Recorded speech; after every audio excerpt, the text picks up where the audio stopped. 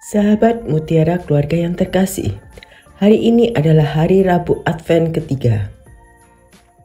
Di dalam kehidupan sehari-hari, sering kita dihadapkan kepada masalah yang mengharuskan kita memilih ya atau tidak. Pertanyaannya, seberapa banyak dari kita yang memilih taat?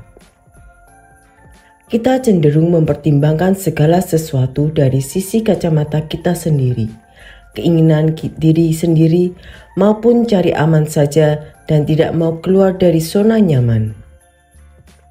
Pemberitaan malaikat kepada Bunda Maria bahwa dia akan mengandung dan Mesias akan lahir melalui rahimnya tentu membuat Bunda Maria sangat terkejut. Secara manusiawi, Bunda Maria bertanya bagaimana ini mungkin terjadi karena belum bersuami. Namun, malaikat terus meyakinkan dan menyampaikan pewahyuan secara langsung kepada Bunda Maria.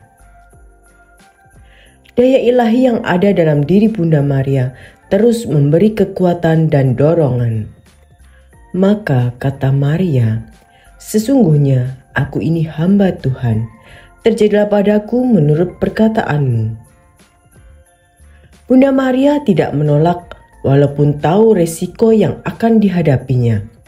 Bunda Maria begitu taat akan kehendak Allah. Ketaatan Bunda Maria mendatangkan berkat keselamatan bagi seluruh umat manusia.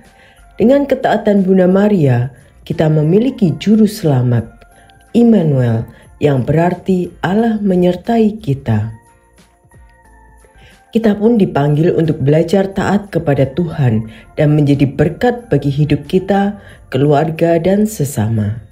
Salam sukacita kasih.